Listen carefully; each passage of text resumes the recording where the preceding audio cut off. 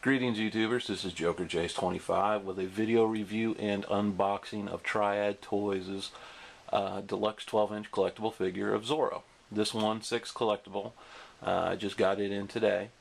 Uh, it retails for about $120 through Triad. Uh, there's some sellers from uh, Big Bad Toy Store and a few others that have it cheaper. I currently uh, make a custom 12 inch figure. If any of you have, uh, are aware of my videos, I make a Guy Williams version which is based on the Disney uh, take on Zorro. This version of Zorro is not based on, you know, any type of Zorro. It's not Douglas Fairbanks, it's not Antonio Banderas, and it's not Guy Williams. It's kind of a generic Zorro, which is kind of cool because if you are wanting to customize this figure, the possibilities are endless. So um, let's go ahead and take a look at them, and let's see what uh, I'll give you my review, and we'll see what you think. First of all, he comes in a box that has uh, the figure on the front.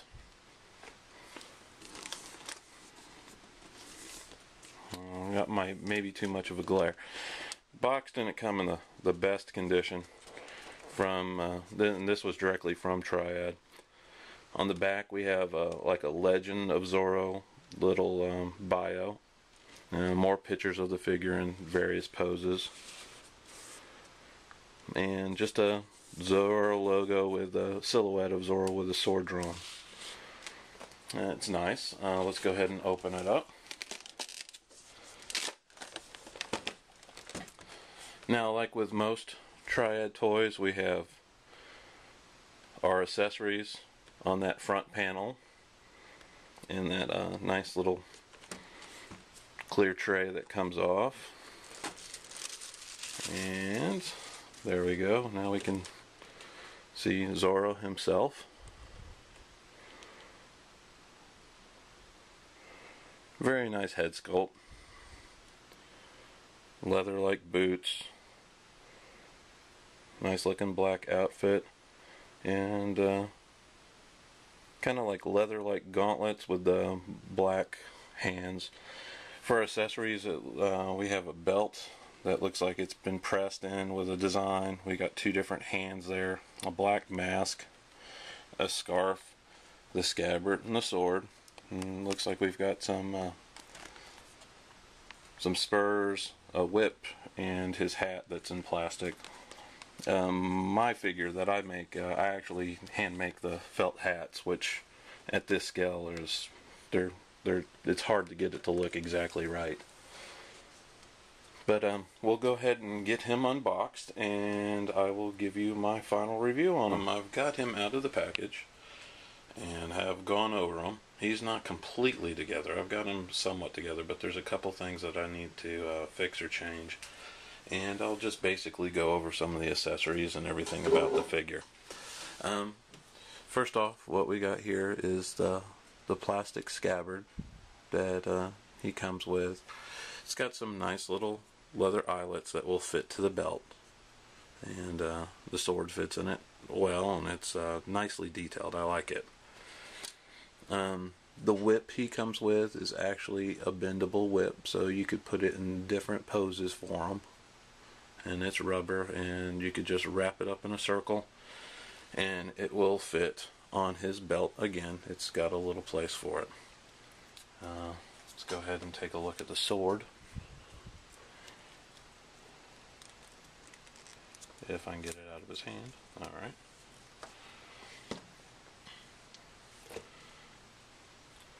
The sword is actually done really well. It's reminiscent of the sword that you would see in the Antonio Banderas uh, Mask of Zorro movies. Um, it's got the hilt that is very similar to the, that movie sword.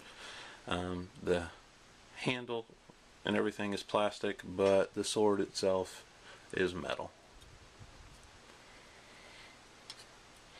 His hat is plastic.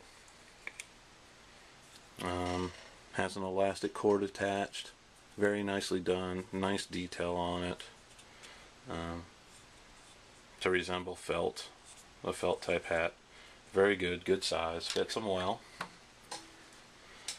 His mask, however, is uh, like a, a rubber type mask and it's got an elastic cord in it.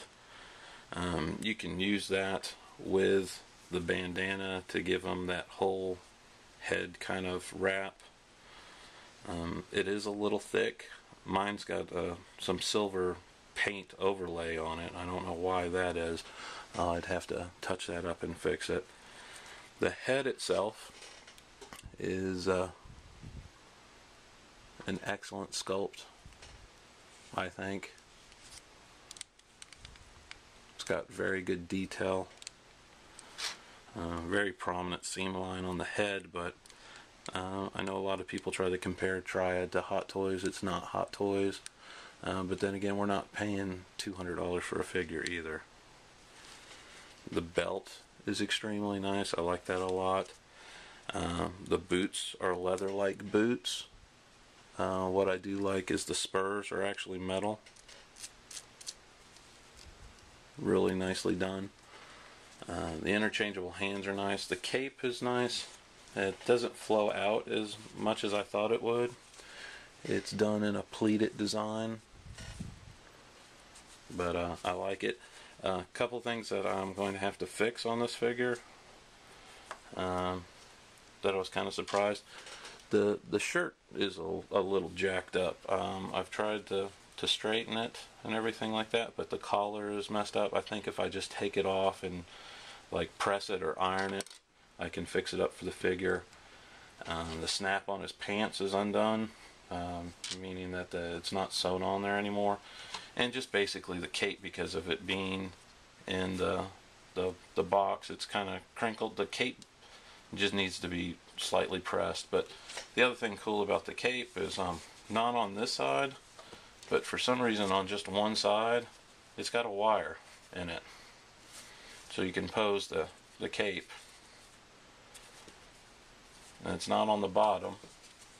It's not on this side. It's just along that one side of the cape.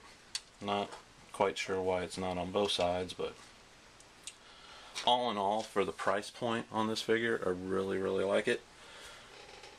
Um, like I said, if this was something that you wanted to turn into, like an uh, Antonio Banderas, uh, Triad even makes a uh, an agent doll that has an Antonio Banderas head, so it would be as easy as popping off the heads and switching it, and you would have a Mask of Zorro figure.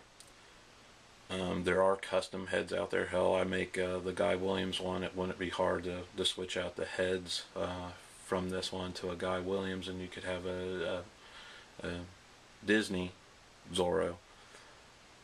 Um, I I'm gonna probably keep him the way he is. I might get another one later and switch it out and have an Antonio Banderas just because I, I I like Zorro. That's why I make Zorro figures is because he's one of my favorite characters.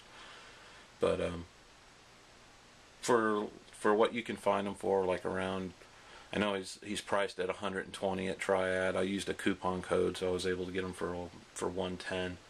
Plus, I went ahead and got uh, the two of their agent figures because they had them priced down to like forty dollars a piece, which I'm going to do reviews on those individually too. But all in all, uh, I would definitely give this figure a good solid eight out of ten stars. And uh, go ahead and comment, review. Uh, I think he's an excellent figure. I just think we uh, needed a decent review on this figure on YouTube because I haven't seen one.